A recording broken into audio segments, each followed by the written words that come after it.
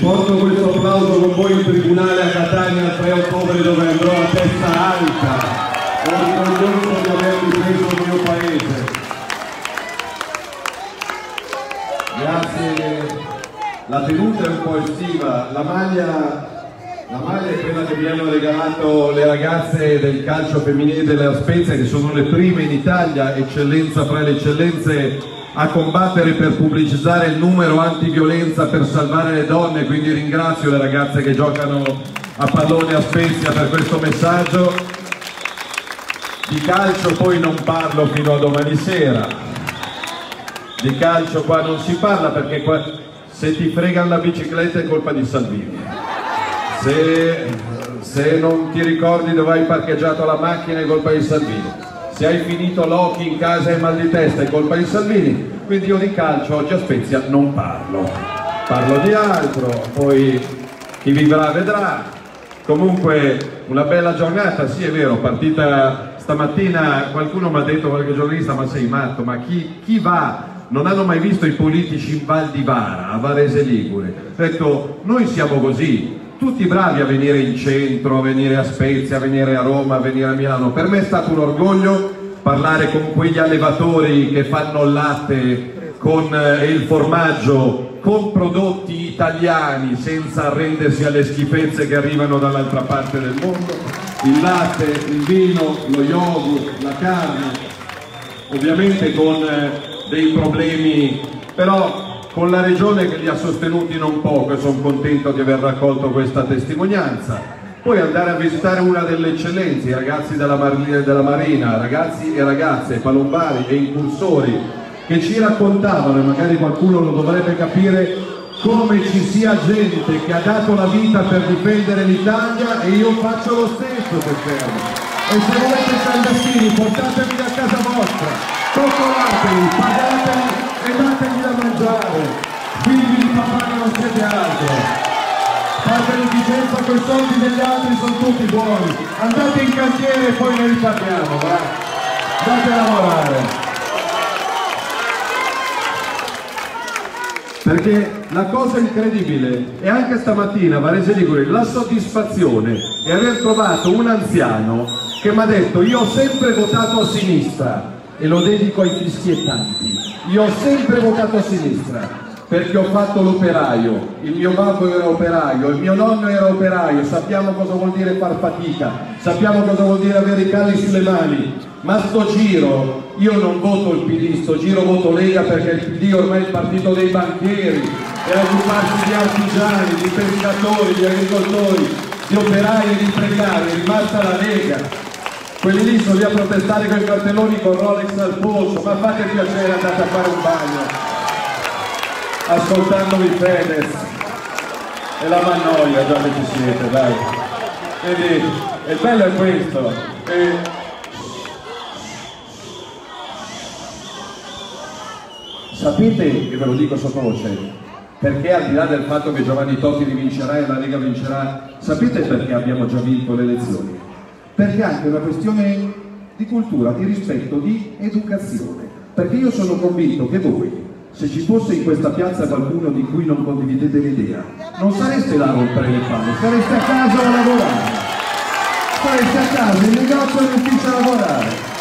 Qui ci sono delle mamme e dei papà che hanno fallito la loro missione educativa, anzi dei genitori 1 e dei genitori 2, che dobbiamo dirla tutti. Quindi è per questo che però noi rispondiamo col sorriso, con l'impegno, col lavoro. Oggi abbiamo girato tutta la provincia di Spezia, domani girerò tutta la mezza Toscana, la provincia di Livorno, la provincia di Pisa, la provincia di Lucca, poi sarò giovedì in Emilia e in Romagna, venerdì nelle Marche, sabato in Puglia, domenica a Reggio Calabria, lunedì e martedì a Napoli, a Salerno, mercoledì a Roma e poi torno in Liguria perché l'Italia ha bisogno di donne e uomini liberi, liberi, coraggiosi, entusiasti. Questi stanno pensando di riportare in vigore la legge Fornero, cioè non so se ci stiamo spiegando, noi ci abbiamo messo un anno a mantenere la promessa che avevamo fatto agli italiani di smontare la legge Fornero e grazie a quota 100 abbiamo restituito vita, diritti e dignità a 300.000 donne e uomini in questo paese. Il PD, il partito che una volta era dei lavoratori, degli operai, dei precari, sta pensando, siccome glielo chiede l'Europa, di reintrodurre la legge Fornero. Ora vi do la mia parola che faremo le barricate dentro e fuori il Parlamento se proveranno a riportare la legge Fornero. Non si può morire in fabbrica a 70 anni, morire in porto, in negozio, a scuola, in ospedale a 70 anni. È questo, queste sono le battaglie. Domani, ma un'altra follia, domani è il 20 agosto, domani per 5 milioni di lavoratori italiani è tempo di pagamento delle tasse, partite IVA, autonomi, artigiani, commercianti. Dopo che uno è rimasto chiuso per 2, 3, 4 mesi, cosa fa il governo? Il 20 agosto gli chiede di pagare le tasse. La proposta della Lega era normale, non regalare niente a nessuno, ma fino al 31 dicembre non rompere le palle agli italiani. Fino al 31 dicembre anno bianco fiscale. Lascia tranquilla la gente da Equitalia e dalle tasse fino al 31. E eh no, domani scadenze fiscali come se, nulla, come se fosse un 20 agosto normale. Vi rendete conto che dobbiamo far bene e fare in fretta? La notizia, ho sentito che parlava Edoardo, non so voi, io ho due figli che vanno a scuola e una ha sette anni. Se me la obbligano ad avere mascherina, plexiglass e banco con le rotelle, io mia figlia a scuola non ce la mando. Non sono degli oggetti i bambini.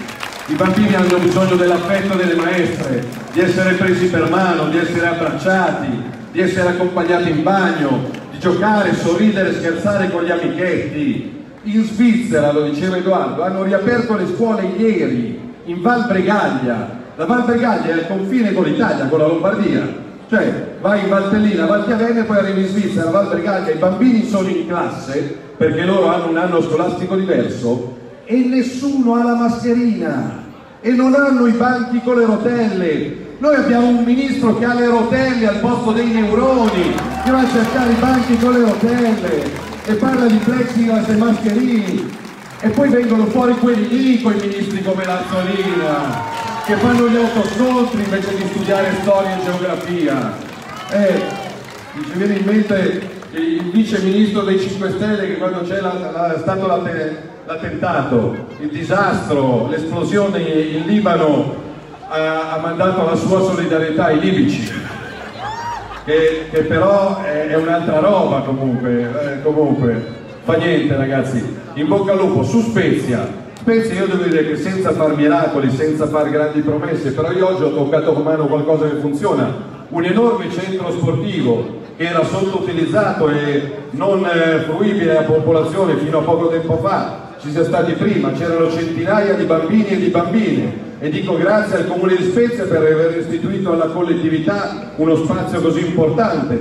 Sulla sicurezza, ragazzi, mancano 45, a voi per votare manca un mese, io sto facendo come al servizio militare, a me mancano 45 giorni al processo, perché poi uno sorride, però non so quanti di voi sia capitato di andare in un tribunale, io ci sono sempre andato, le poche volte che sono andato, però da vittima in tribunale, quando ti ruba la macchina, quando c'è il divorzio, quando c'è l'affitto, però io da imputato in tribunale non sono mai andato nella vita. Poi per un'imputazione come sequestro di persona aggravato e continuato, pena prevista fino a 15 anni di carcere. Uno ride, ma io penso che l'Italia sia l'unico paese al mondo che manda a processo un ministro che ha difeso i confini e la sicurezza del suo paese. Ma non mi pare normale. Però se vi devo dire che ho paura, no, schiena dritta, testa alta, anche perché quel sabato mattina sarà un sabato mattina, sabato ecco l'unica roba che, che mi, mi, fa girare le palle, usando un inglesismo, è che io di solito il sabato mattina, il venerdì sera e il sabato mattina sono le uniche 24 ore che nell'arco della settimana riesco a dedicare ai miei figli. Io quel sabato mattina non sarò con mia figlia e con mio figlio a giocare a Milano perché c'è qualche cretino che mi manda a processo a Catania. È questo che mi fa girare le scatole. Poi io quel giudice lo guardo occhi negli occhi e mi dico amico mio, amico mio, i miei nonni hanno fatto la guerra mondiale e hanno rischiato la vita per difendere l'Italia dallo straniero. C'è ancora qualcuno che pensa che noi stiamo accogliendo gente che scappa dalla guerra, ma li avete visti? È l'unica guerra da cui non scappano donne, anziani, malati e bambini scappano solo ragazzi fra i 25 e i 30 anni che potrebbero giocare a pallacanestro meglio di me. Cappellino, telefonino, scarpe da tennis, anellino e collanina, addirittura barboncino. Quest'estate abbiamo visto la fuga dalla guerra con barboncino al guinzaglio. Cioè, noi ridiamo, ma pensate come ci guardano gli svizzeri, i francesi, i tedeschi, gli spagnoli, i maltesi. Che cosa pensano? Ma voi cretini degli italiani. Eh, noi, io sono stato a Ventimiglia, dall'altra parte di questa splendida terra che è la Liguria. Ogni giorno la polizia francese riporta in Italia fra i 60 e i 70 clandestini. Cioè ogni giorno i francesi cosa fanno? Qualcosa di illegale? No. Se uno entra in Francia senza documenti cosa fanno? Lo riportano da dove è arrivato. Ma è normale, non è che li processino perché difendono i confini. Noi invece li andiamo a prendere in Libia, li andiamo a prendere a Malta, li andiamo a prendere in Tunisia. Il governo gli ha attrezzato delle navi da crociera per la quarantena, con i ristoranti e le piscine, ma e c'è sicuramente qualche spezzino che in questo mese d'agosto non si può fare neanche un giorno di vacanza perché non ha una lira per andare in vacanza, altro che navi quarantena per i clandestini che arrivano da queste parti, quindi rendiamoci conto che dobbiamo fare, fare in fretta.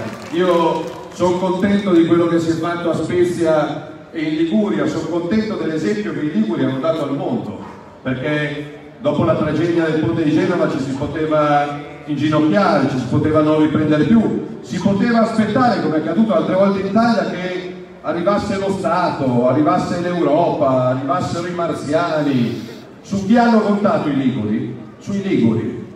E quindi io dico grazie al popolo ligure che ha dato al mondo la dimostrazione di quello che sanno fare gli italiani. Non abbiamo niente da imparare da nessuno, abbiamo i migliori operai, i migliori imprenditori, i migliori architetti, devono poter competere al pari degli altri, certo, se, se qualcuno mette gli agricoltori francesi in condizioni di vantaggio rispetto ai nostri, anche far la spesa, parentesi al volo, è un atto politico, ve lo chiedo, magari perdete 30 secondi in più guardando l'etichetta, vi chiedo a nome dei produttori liguri che ho, incontrato, che ho incontrato oggi che fanno una fatica pazzesca perché fare lo Shangri-La su su quelle colline lì non è roba semplice. Ve lo chiedo per cortesia quando fate la spesa. Comprate italiano, mangiate italiano e bevete italiano, perché è frutto della nostra terra, è frutto della fatica, dell'amore, della passione, del sudore della nostra gente in bocca al lupo, poi io vi ringrazio perché un mercoledì di agosto essere in tanti in centro a Spezia vuol dire che stiamo seminando qualcosa di buono, non guardiamo a quello che fanno gli altri, i giornalisti mi chiedevano ma qua si allegano PD e 5 Stelle, siete preoccupati? No, ne battiamo due al posto di uno, non c'è problema, possono allearsi anche con i marziani.